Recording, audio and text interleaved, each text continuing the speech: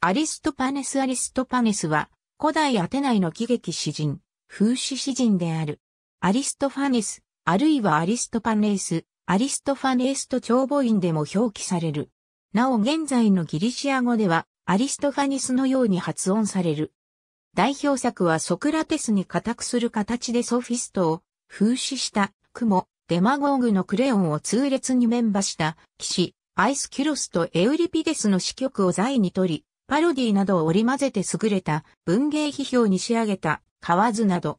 アリストパネスの著作以外の経歴はあまり詳細には伝わっていない。彼はアテナイ市内に生まれ、父はピリッポスといった。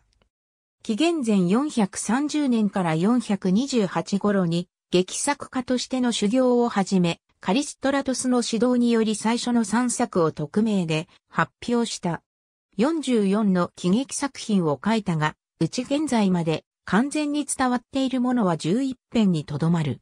アリストパネスは大ディオニュシア祭の共演にたびたび入賞した当時のアテナイを代表する喜劇作家であった。また3人の息子、ピリポス、アラロス、ニコストラトスも喜劇作家となった。なおアリストパネスはアテナイに近い愛気な島に2回旅行している。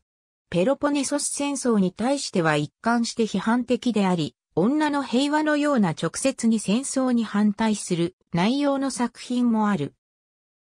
アテナイの同時代の実在の人物、ソクラテスやエウリピデスなどを取り上げて風刺することが多かった。特にエウリピデスは何度か登場し、彼の悲劇、ヒッポルトスでのセリフ、舌は誓ったが、心は誓わないは何度ももじって利用している。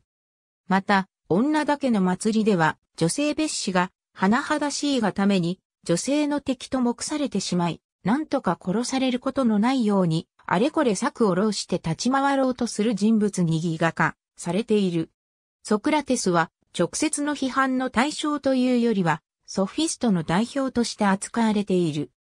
政治家の中では、デマゴーグのクレヨンを特に標的とし、思いの丈の限りを尽くして、痛烈に風刺したため、バビュロニア人を共演した際には、クレヨンによって言いがかりとしか思えない罪状でもって告訴されている。プラトンの共演において、縁に集う人々の中の一人として登場している。